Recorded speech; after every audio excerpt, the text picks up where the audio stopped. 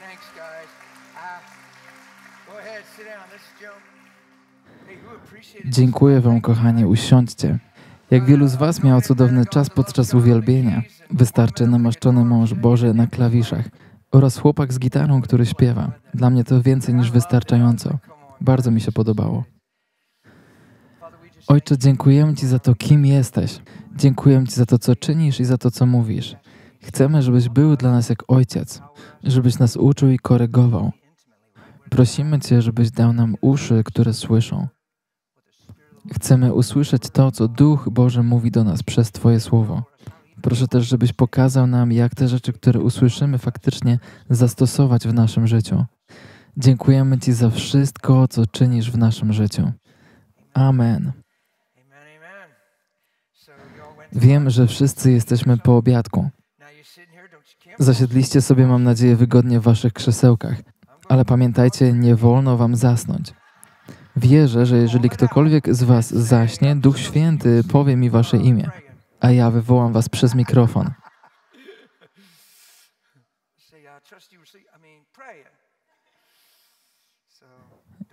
Powiem wam tylko tak, radzę wam mnie nie sprawdzać, albo raczej nie kuście Ducha Świętego. Któregoś razu odwiedzałem więzienie dla kobiet. To był niesamowity czas. Obecność na spotkaniu, które prowadziłem, była dla wszystkich więźniarek obowiązkowa.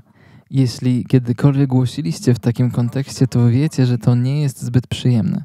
Większość z kobiet tam obecnych nie chciała być na tym spotkaniu i nie chciała słuchać tego, co jakiś starszy, siwy człowiek ma do powiedzenia. Nie spodziewały się tego, co tam zastały. Myślały, że przyjedzie jakiś facet, który będzie próbował je naprostować. A ja byłem tam tylko po to, żeby okazać im wszystkim Jego miłość. Ich mowa ciała pokazywała sobą wszystko. Siedziały ze wzrokiem wbitym w podłogę, z założonymi rękami, tak jakby chciały całą swoją postawą przekazać: Jestem tutaj, bo muszę być. Kocham takie sytuacje. Powiem Wam, że zupełnie mi to nie przeszkadza. Wystarczy tylko trochę miłości Bożej i atmosfera w pomieszczeniu zmienia się momentalnie. Zanim zaczęło się uwielbienie, poprosiłem o możliwość powiedzenia kilku słów. Powiedziałem, chciałbym na początku, zanim zaczniemy powiedzieć Wam wszystkim, kochane, dlaczego tutaj jestem.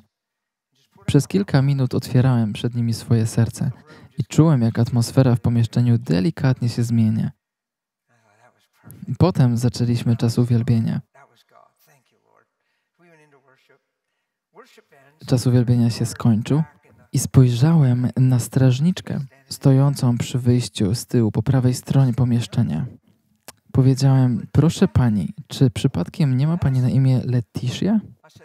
Otworzyła szeroko oczy, powiedziała: Tak. Powiedziałem: Widziałem przed chwilą w wizji, jak dzisiaj rano, siedząc na swoim łóżku, powiedziałaś to i to. Upadła na podłogę z rykiem i całe pomieszczenie, wszystkie dziewczyny były pozamiatane.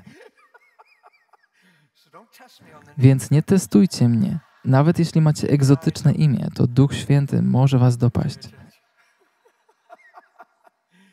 To nie jest imię, jakim strzelałbyś na ślepo, bo a nuż widelec się uda. To jest imię, które musisz usłyszeć od Boga. Bóg pokazał mi, co działo się w jej duszy tego poranka, co powiedziała siadając na łóżku. Ona też była tego świadoma i dokładnie pamiętała, co wydarzyło się tego poranka. Całkowicie ją to zmiotło. Widziałem wtedy, że wszystkie dziewczyny zmieniły swoją postawę. Nagle był taki klimat, no dobra, będziemy słuchać tego staruszka. Mieliśmy tak niezwykły czas, że tuż po tym, jak skończyło się spotkanie, to płakałem, płakałem i płakałem ze wzruszenia. Podeszła potem do mnie kierowniczka więzienia i powiedziała: Ja nie wiedziałam, że w ogóle tak mogą wyglądać spotkania w kaplicy. A ja odpowiedziałem: Ja też nie. Powiedziała: Nigdy czegoś takiego nie widziałam, a ja na to: Ja też nie. Byłem całkowicie przytłoczony, tak jak ona. Bóg pokazywał dokładnie, która z nich jest chora na żółtaczkę, która na cukrzycę, a ja nie znałem tam absolutnie nikogo. Więźniarki modliły się o siebie nawzajem, a Duch Święty się poruszał. W którymś momencie powiedziałem im, żeby wszystkie się objęły, żebyśmy utworzyli kółko. I powiedziałem, Jezu, przytul je wszystkie. I to, co się działo, było nie do opisania. Pamiętajcie, mówimy tutaj o więźniarkach, które nawet nie chciały na to spotkanie przyjść. Po spotkaniu strażniczka powiedziała mi tak. Wiesz, pastorze, ja wiem, że niektóre z tych kobiet zupełnie nie chciały tutaj być, ale tego spotkania nie przetrwała żadna z nich. To dosłownie wypłynęło z jej ust. Żadna z nich nie ostała się na tym spotkaniu. Zostały dotknięte nawet najbardziej zatwardziałe serduszka. Ja sam nie mogłem mieć z nimi żadnego fizycznego kontaktu, bo to więzienie dla kobiet. Dlatego poprosiłem, żeby one same wszystkie się objęły i żeby Jezus przytulił je za mnie. Powiedziałem mi po wszystkim, że jeżeli kiedykolwiek będę w okolicy, to mam po prostu przyjeżdżać, a one bez względu na czas i porę wszystkie zejdą się do kaplicy. Po dziewięciu miesiącach okazało się, że byłem na trasie o około godziny od tego więzienia. Zadzwoniłem do kierowniczki i powiedziałem: Jestem godzinę od was. Mam przyjeżdżać? A ona na to oczywiście. Poprosiłem, żeby pozwolili mi wziąć ze sobą kilka chrześcijanek. Nazywam je przytulankami. Chciałem mieć ze sobą ludzi, którzy mogą wyprzytulać więźniarki. Jeśli kiedykolwiek usługiwaliście w więzieniu, to wiecie, że to, co teraz powiem, praktycznie nigdy się nie dzieje. Zadzwoniłem przez interkom i od razu po prostu otworzono mi drzwi. Nie było żadnego sprawdzania, żadnego legitymowania się, żadnych pytań na temat tego, kto z tobą jest. Miały do mnie taki poziom zaufania ze względu na to, co wydarzyło się podczas poprzedniego spotkania. Dzięki temu mogliśmy wejść, od razu się ustawić. Zabrałem wszystkich ludzi, którzy byli ze mną i praktycznie od razu byliśmy gotowi. Nikt nas nie prześwietlał, nikt nas nie legitymował. Wiecie, że takie rzeczy się nie dzieją. Zgadnijcie, która z nich jako pierwsza przybiegła do mnie. Nasza Leticia. Rzuciła mi się w ramiona. Powiedziała, tak się cieszę, że Cię widzę. Powiedziałam już wszystkim dziewczynom, żeby były gotowe na to, co będzie się dzisiaj działo.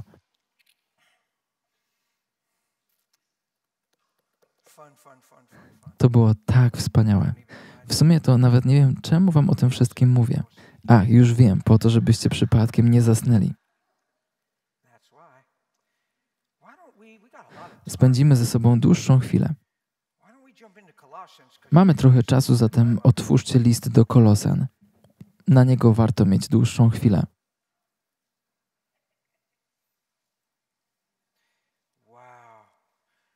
Wiem w swoim sercu, że jest kilka rzeczy, o których musimy pogadać.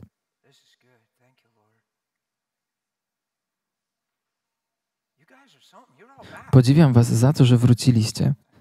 Sobota, kolejna sesja po obiadku. Dzisiejszy poranek był naprawdę mocny.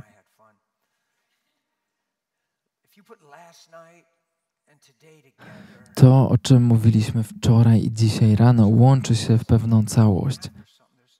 Musimy zrozumieć, że Jezus miał cel w swoim przyjściu na ziemię. On chce, żebyśmy kimś się stali. Musicie być świadomi, że trwa walka, wojna przeciwko temu, co dzisiaj i wczoraj słyszeliście. Diabeł nie chce, żebyście stali się tym, co usłyszeliście.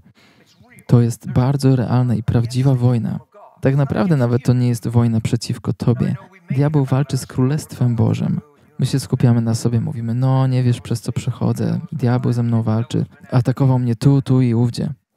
Jego personalnie Ty aż tak bardzo nie obchodzisz. Z punktu widzenia diabła, gdyby nie Bóg w nas, to bylibyśmy dla Niego naprawdę nieistotni.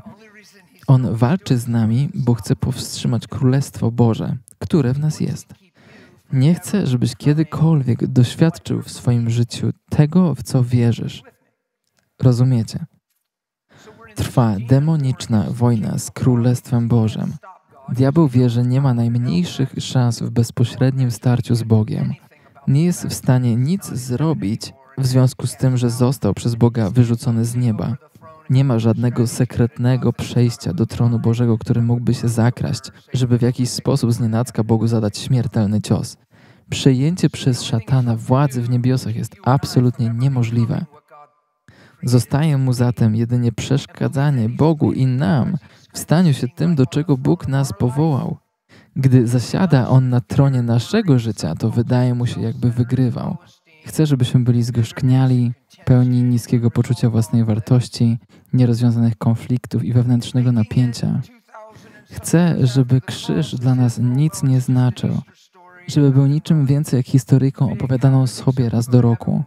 Chcę, żebyśmy myśleli, że kiedyś tam będzie lepiej, podczas gdy tutaj na ziemi przechodzimy piekło. Boży plan dla nas jest całkowicie inny. A więc demony walczą z Bożym Królestwem.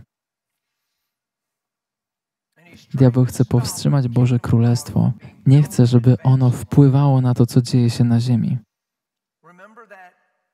Pamiętacie ten fragment, w którym Jezus mówił, na jakim objawieniu zostanie zbudowany Jego Kościół? Było to objawienie o tym, że to On jest Chrystusem, że On jest Synem Bożym. Dlatego diabeł wymyśla różne strategie wymierzone przeciwko temu, aby powstrzymać Boże Królestwo przed rozwijaniem się. Musimy być bardzo uważni w tym, w jaki sposób podchodzimy do trudności i wyzwań w swoim życiu. Nie możemy ich brać do siebie i odbierać personalnie. To, przez co przechodzisz, nigdy nie może się doczepić do Twojej tożsamości. Nie może wpływać na Twój poziom zachęty. Na wszystko musisz patrzeć przez perspektywę Bożego Królestwa. Dlatego jest napisane: Szukajcie najpierw Bożego Królestwa. Musimy mieć tę perspektywę. Dlaczego? Ponieważ jesteśmy na wojnie. Podczas ostatniej sesji użyłem wielu fragmentów. Cytowałem Wam również z listu do Tymoteusza. Nikt, kto zaciąga się do armii, nie zajmuje się już więcej sprawami tego świata.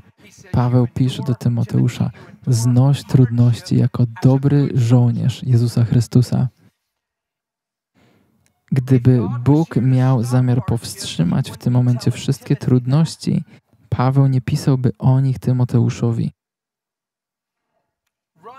Nie mówiłby o tym, żeby biec wytrwale w tym wyścigu, który został przed nami postawiony. Gdyby nasze życie miało być usłane przez cały czas różami, nie potrzeba by nam było słuchać o wytrwałości. Znoś trudności jako dobry żołnierz Jezusa Chrystusa. Widzę, że niektórzy z Was robią notatki. Zapiszcie sobie dziesiąty rozdział listu do Hebrajczyków, 35, 36 werset. Nie odrzucajcie zatem waszej pewności. Ma ona bowiem wielką zapłatę. Polskie tłumaczenie UBG używa słowa nie odrzucajcie waszej ufności. Potrzeba wam bowiem wytrwałości, abyście wypełniając wolę Boga dostępili spełnienia obietnicy. Ten fragment mówi nam, że nie wypełnimy woli Bożej bez wytrwałości. Dlaczego? Ponieważ cały czas coś próbuje sprzeciwiać się woli Bożej. Jesteście ze mną? Niektórym ludziom zaczynają się pocić ręce, gdy słyszą takie przesłuchanie, ponieważ unikają konfliktów za wszelką cenę. Nie módlcie się o życie pozbawione problemów, to nie jest biblijne. Znowu słowo. Wasi bracia na całym świecie przeżywają te same trudności, więc nie uważajcie waszych za coś niezwykłego. Gdy znowu zaczynamy skupiać się na sobie, wtedy w obliczu trudności mówimy: No nie, znowu nie to. Myślisz wtedy o sobie, a to z kolei sprawia, że nie jesteś w stanie zwyciężyć trudności, która na ciebie napiera. A już na pewno oznacza to, że nie będziesz podczas jej trwania świecił Bogiem. Musicie zrozumieć, że to w ten sposób zostało zaprojektowane. Chciałem, żebyście otworzyli drugi rozdział listu do Kolosan.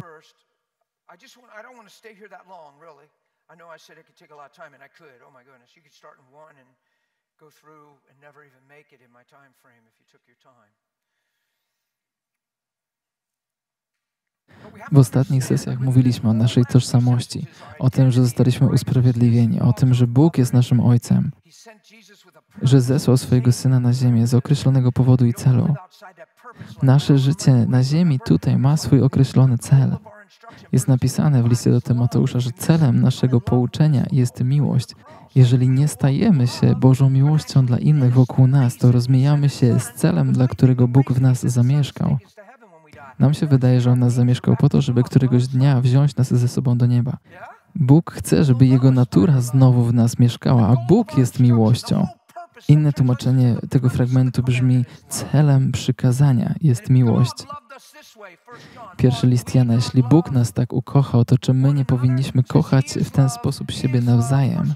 Pierwszy list Jana, czwarty rozdział. On jest miłością, On jest miłością, On jest miłością. W kółko. Kolejny ciekawy fragment. Potem mamy pewność, że Jego miłość doszła w nas do doskonałości. Mamy odwagę przed Nim w dniu sądu.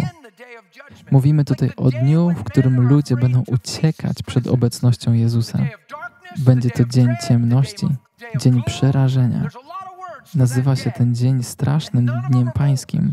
Nazywa się ten dzień w różnoraki sposób, ale nie mówi się o nim w kontekście bycia w odwadze przed Bogiem. Dzieje się to dopiero w pierwszym liście Jana. Tego dnia my będziemy mogli stać przed nim w odwadze, ponieważ takim, jakim On jest i my jesteśmy na tym świecie. To jest naszym celem. List do Efezjan mówi o chwale Jego dziedzictwa w świętych. Liczy się Jego dziedzictwo, nie nasze. My się skupiamy na tym, co my możemy z tego wszystkiego otrzymać. Ciągle się o coś modlimy, ciągle coś zdobywamy, a co z Jego dziedzictwem? Co ze zwrotem za Jego inwestycje? Co z dywidendą i wypłatą za Jego cierpienie?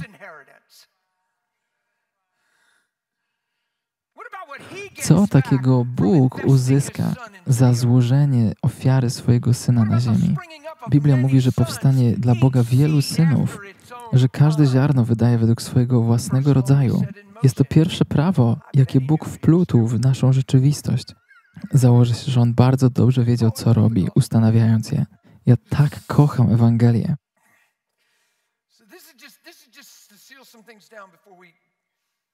Czasem ludzie się mnie pytają, czy mam jakiś swój ulubiony fragment pisma.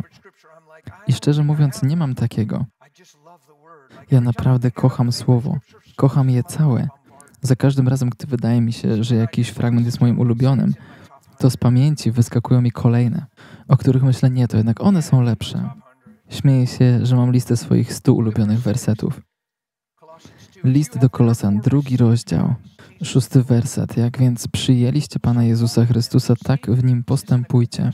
Nasze życie chrześcijańskie to nie wyznawanie czegoś ustami, ale pewnego rodzaju codzienne życie i postępowanie.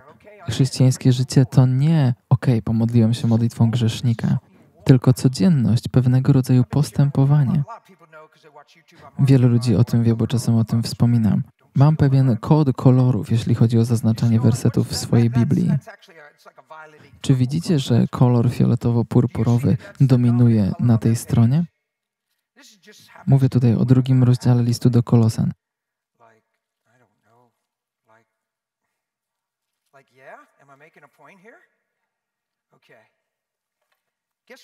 Zgadnijcie, co ten kolor oznacza w mojej Biblii. Postępowanie chrześcijanina, przykazania pańskie, rzeczy, które powinny być obecne w moim życiu, skoro Chrystus we mnie zamieszkał. Do kolorowania swojej Biblii używam jeszcze kredek.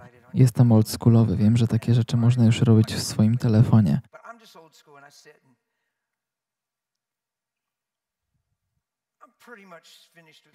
Praktycznie już skończyłem zakreślać kolejny Nowy Testament. Wiecie, co staram się robić, gdy zakreślę całą Biblię? To wraz z notatkami staram się ją oddawać nowo nawróconej osobie. Potem kupuję nową i zaczynam od nowa. Gdy tylko o tym wspominam na jakimś kazaniu, od razu dostaję e-maile. Czy mógłbyś mi wysłać jedną z takich Biblii? Czy dałbyś mi swoją Biblię? Przestańcie wypisywać mi takie wiadomości. Oddaję swoją Biblię tej osobie, o której Bóg mi mówi. Nie robię tego dlatego, ponieważ Ty mnie o to poprosisz.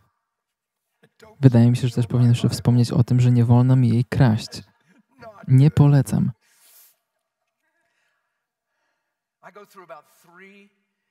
Używam do kolorowania kolorowych ołówków i żeby zakreślić cały Nowy Testament, to zużywam przynajmniej 3,5 sztuki. Koloruję, potem je ostrzę, one się zużywają, biorę kolejne i tak dalej. Są takie rozdziały jak list do Rzymian 12, 13, mnóstwo fragmentów w liście do Koryntian, które dosłownie są całkowicie zakolorowane. W chrześcijaństwie chodzi o coś dużo więcej niż o pomodlenie się modlitwą grzesznika i proszenie Boga o to, żeby nam błogosławił. Chrześcijaństwo jest czymś, w czym powinniśmy być i żyć każdego dnia. Głównym kolorem w tym fragmencie pisma jest fioletowy. Oznacza on to, w jaki sposób powinno wyglądać życie chrześcijanina. Wymyślcie sobie swój własny system kolorów. Nie musicie papugować po mnie.